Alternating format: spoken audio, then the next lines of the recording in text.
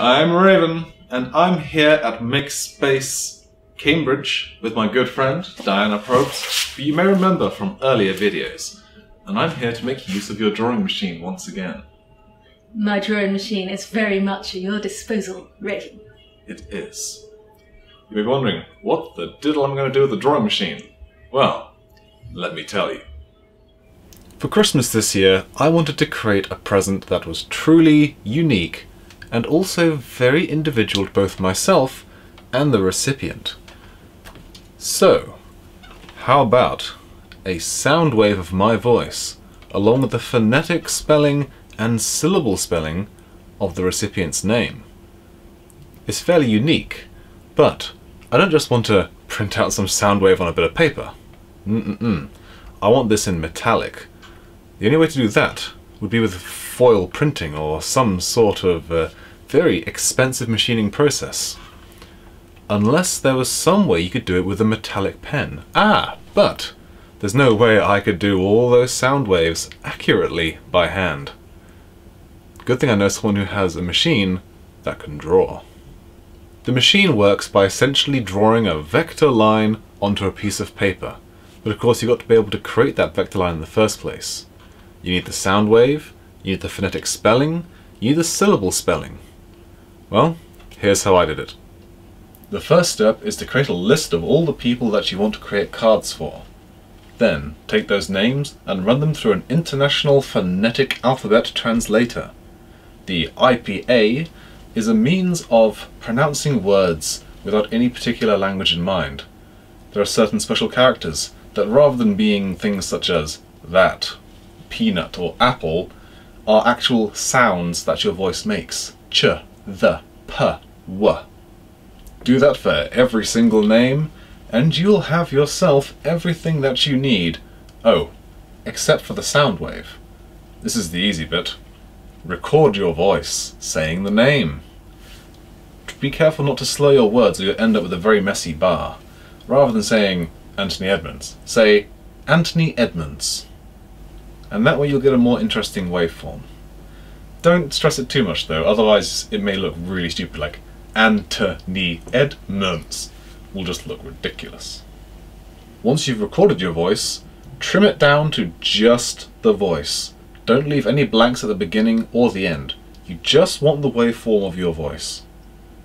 So, we have the name, which I'm sure you can work out the syllables, Anthony Edmonds. If you need help, ask an adult.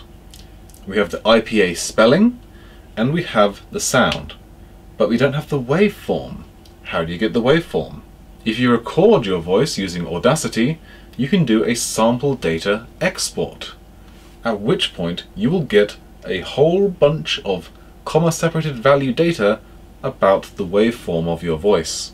Audacity is free, so you're welcome to download it, and I'm sure other programs have similar functionality.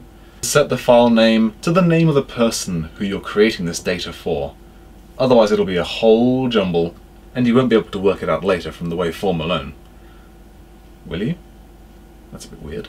You will now have a CSV of your voice, a digital representation of a very analog thing. Just saying, okay, now I have a list of numbers. How do I turn that into a waveform? I created a very basic tool to turn that data into an SVG waveform, and there'll be a link to that in the description below.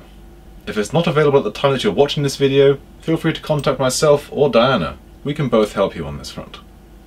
Once you've generated your waveform, copy the SVG from the source of the web page and save it as an SVG file. You can do this in Notepad, Notepad++, or any other simple text editor.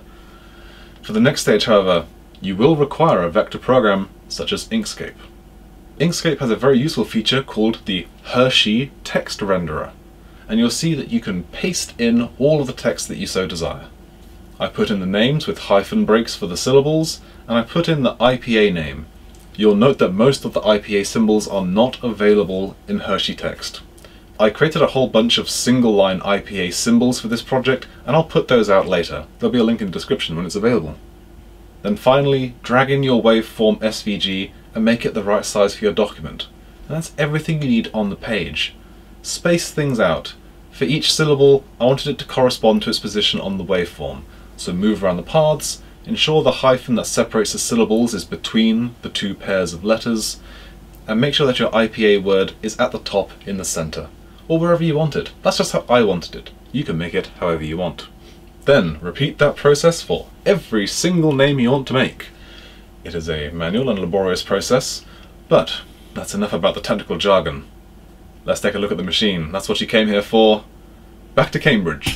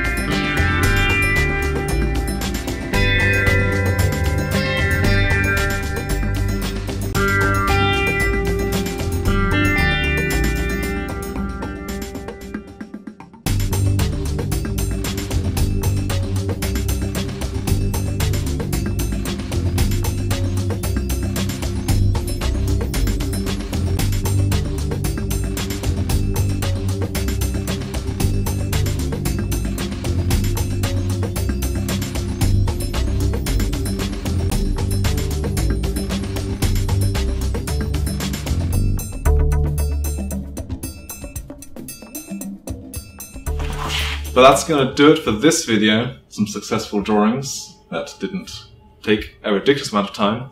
A unique machine created by a unique lady. Diana, where can they find more of your stuff? The best place to contact me is on Twitter My name is almost unique on the internet, so twitter.com slash Diana Probst, or dianaprobst.com, or Probst of Cambridge on Instagram, or Patreon, Diana Probst. That was very businesslike. I'll just uh, gl- litter some names, like just right over here. That way they can't see you. Okay, I'll put them over here. She accepts money as well as tea. It's your choice, really. But until the next video, I'm Raven, and that's all from the lair. And then I'll tell them. I'll draw with it. You draw with it. We all draw with it. Drawings for everyone. Well, not everyone. Oh, come on. Everyone deserves a drawing. It took us about imaginary watch eight hours to do th- thirty.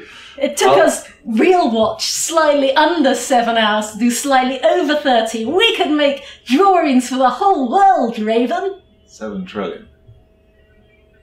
Possibly seven billion.